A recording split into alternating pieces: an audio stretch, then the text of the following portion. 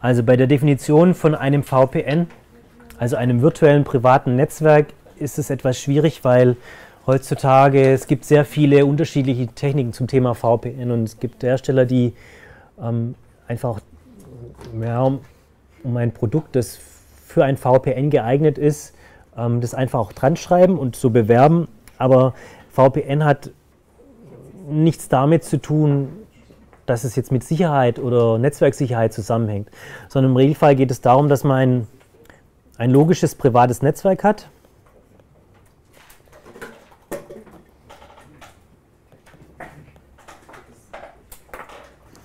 Und man betreibt es äh, über eine öffentliche Infrastruktur.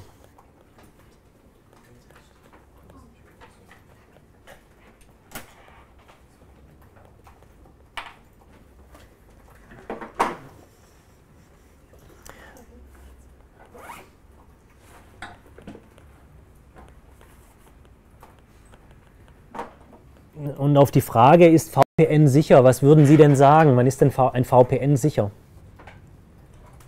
Naja, also sobald die Verschlüsselung stark genug ist, dass ich es halt nicht aufbrechen kann. Wenn äh, die Gegenseite vertrauenswürdig ist, also ich mich überhaupt mit einem vertrauenswürdigen Server verbinde, um so die VPN aufzubauen. Wenn die Dinge gegeben sind, dann und die Integrität. Mhm. Genau. Also diese drei Aspekte kommen hier auch wieder zum Tragen. Ja? So viel zum Thema, ist VPN sicher? Ja, kann sicher sein, wenn diese drei Dinge ähm, eingehalten und geprüft werden. Ja? Also die es kommt auf die Implementierung drauf an. Ja? So, jetzt gibt es noch ähm, zwei Begriffe, die im Rahmen von VPN häufig zum Einsatz kommen. Das eine ist der sogenannte VPN-Tunnel.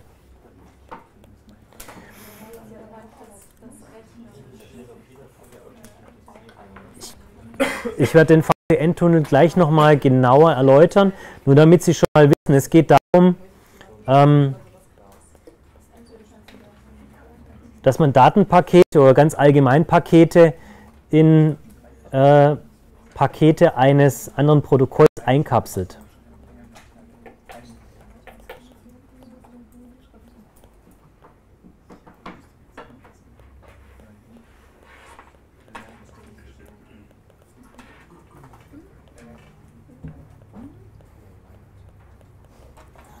So, und dann gibt es noch den Begriff VPN-Endpunkt.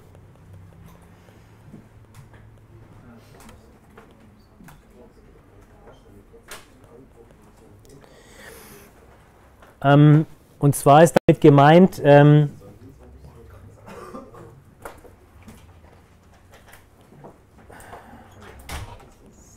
äh, wo der Tunnel anfängt und endet.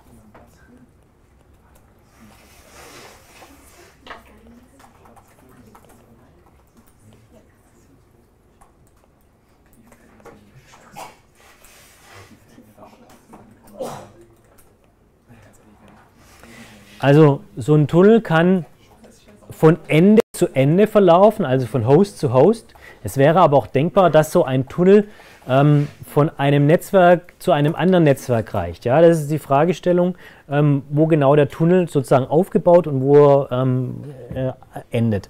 Ich tue da nachher noch mal ein paar ähm, Szenarien ähm, anstellen. Fangen wir mal mit dem VPN-Tunnel an.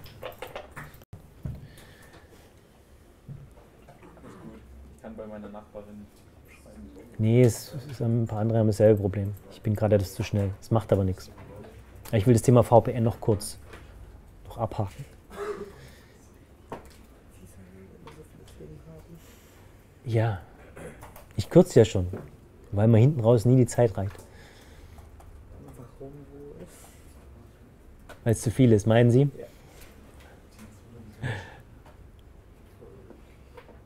Wenn ich alles das machen würde, was in der Modulbeschreibung drin steht, bräuchte ich wahrscheinlich doppelt so viel Zeit.